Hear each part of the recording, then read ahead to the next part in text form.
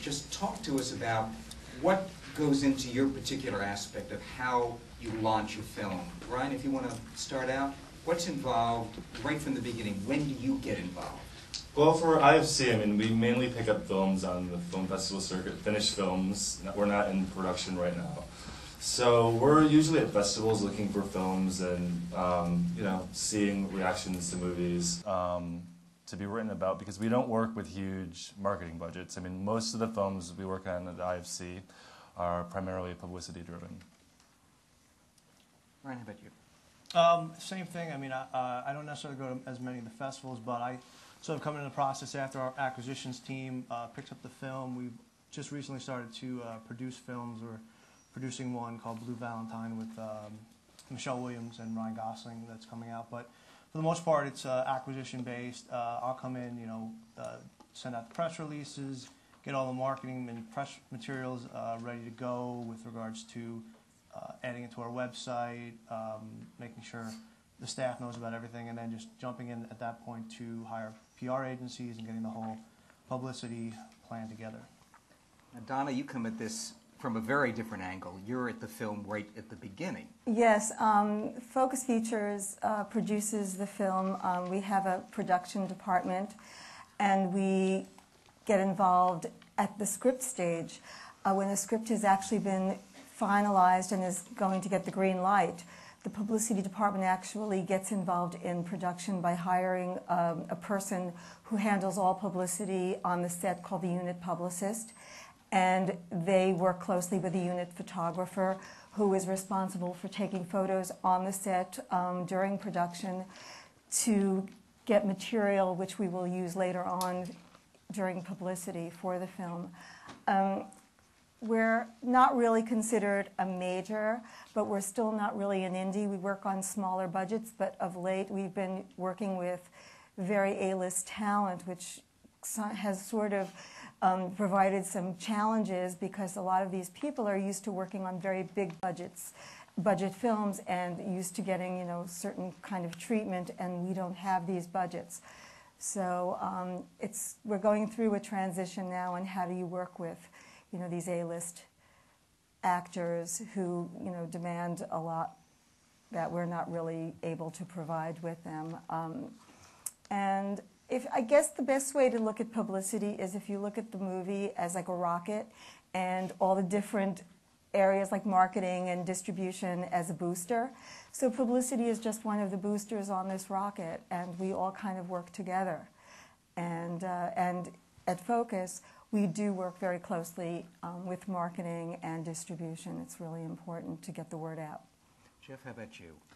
Well, now I'm going to throw the whole confusion into this. After 20 years, my mom still doesn't know what I do because I think I I wear a lot of hats. These guys are all my clients or have been at all their different things and will be hopefully in the future. But I work for them, but I also work for the producer of the movie a lot. Um, I don't publicize actors. I don't want to do hair and makeup and clothing and babysit, but producers and directors are my game, and I kind of get attach myself onto those films, possibly even before production in a script stage if they're getting funding. Um, writing releases for you know saying it's been acquired by these guys.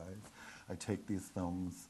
I'm a unit publicist sometimes. I do work in New York basically, but I've flown around the country to different sets for a couple of days, and we'll get into that about our jobs later on and what it really entails. But um, and then film festival wise, like everybody has said here, I take a film.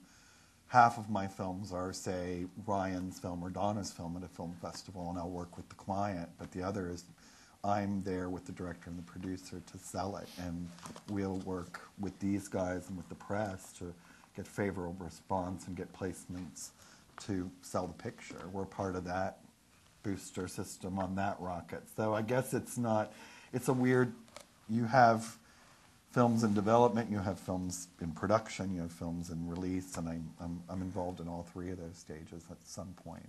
And most of the time, it, it's great to be from the stage one to all the way through until the day it releases. So um, it's, uh, it's not as challenging as it sounds. Um, I don't want to make it seem the easiest job in the world, but it certainly is a fun job. And um, But each you know. film presents different challenges. Yeah, it's just So kind of just making your way through those. And really, we're, we, I, the, these, I, I love to say the joke, so let me say it. It's, it's PR, not ER.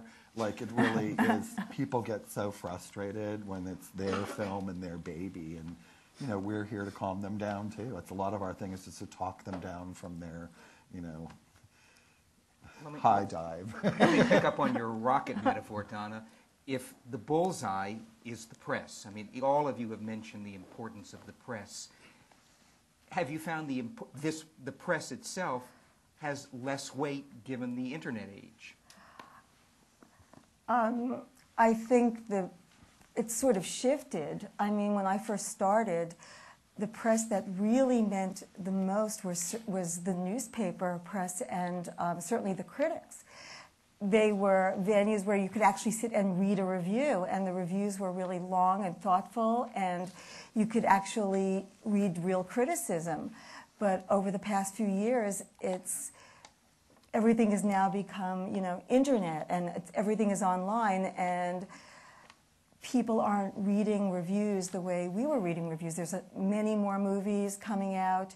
Um, everybody is a critic now, and I find that as publicists, we have to change as well as since the press is changing, and I think the critics don't really have as much power as they used to. I mean, there were certain critics that if you you know you didn't get a good review by this critic, you wouldn't go see the film. You know, it's they would make it or break it for you, and now it's all about you know online. You know, it's all about ain't it cool? Do you think it's because there's 15 movies opening a weekend now instead of five like there used to be? Absolutely. Yeah. But it also depends on what you define as press online. I mean, just because you have a website and you have a blog doesn't necessarily mean you're, you're press. I mean, with traditional media, you, you have an editor, you have sort of a, a filter of what you're saying. I mean, p- if people just want to say anything they want about a movie, that doesn't necessarily mean it's the best opinion or it's an opinion that someone should read. But it seems like everything now is a lot, lot uh, very blog focused, and you know, I mean, we're just trying to focus on on getting the you know traditional reviews online. You know, if we can, if you know, we're not going to get reviewed by a certain paper. We want to make sure at least gets online because anyone will be able to see it. And then you have the Rotten Tomatoes and the other websites that sort of you know call it all together. So it's it, really But just depends on what we do. in New York, need. the agencies that you hire and also you guys, your people that are PR, we do a pretty good job at blocking out like who's bogus and who's good, and we have a judgment of that. Like we will let someone into our world if they're they can prove the hits or they're just like writing some pretty great stories or features or something. But if they're just writing little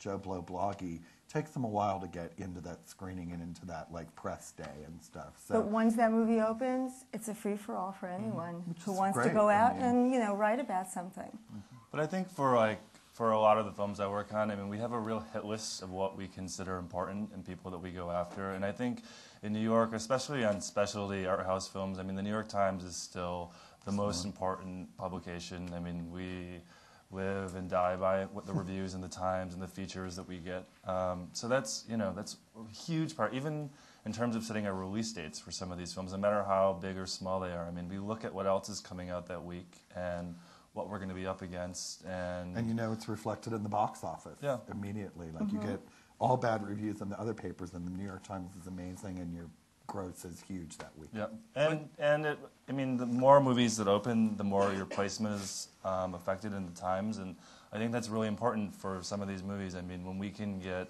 for some of the movies we've released this year, um, you know, like front page placement, it's made a huge difference in our openings. I mean, for very tough films, I'd say. Because I you- think the films that we all work on are clearly review driven films. They're And, not and do you care if advertising. it's Manohla Dargis or A.O. Scott? Does either one? Do we have to comment Yes. on that? We no, I mean clearly. I mean we have we understand and we know the taste. We would think we know which films certain critics like.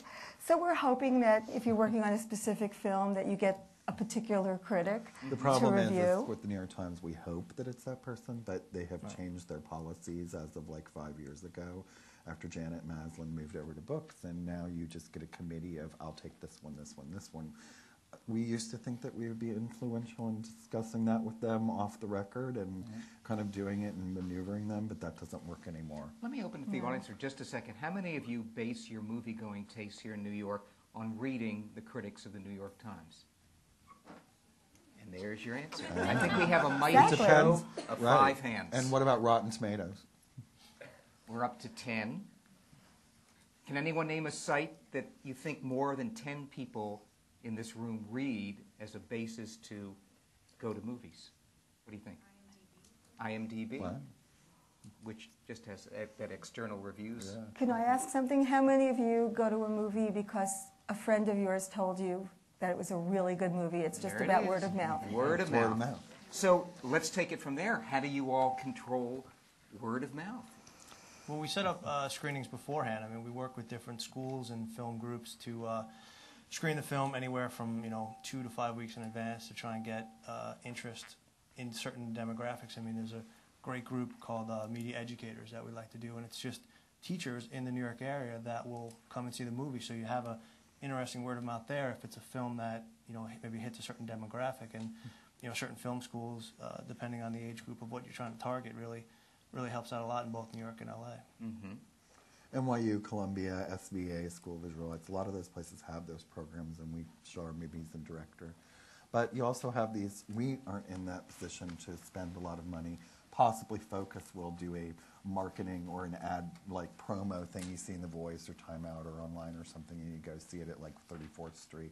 Those things are done by larger studio companies, and that's pretty much Well, a with us, bigger way of doing it. But with us, it's it's a it's a tickets thing. I mean, how big of a word of mouth screen do you want to do when it's starting to give away tickets of people that would potentially see it? So it's a it's a mm-hmm. catch twenty two. I mean, do you have a big enough word of mouth screening where people will talk about it, or you overscreen it for word of mouth, and then there's no one to go to the box office to spend it, and there's so much pressure on the first weekend now for independent movies that y- you have to just find that balance, and it's not an easy thing to do. We're just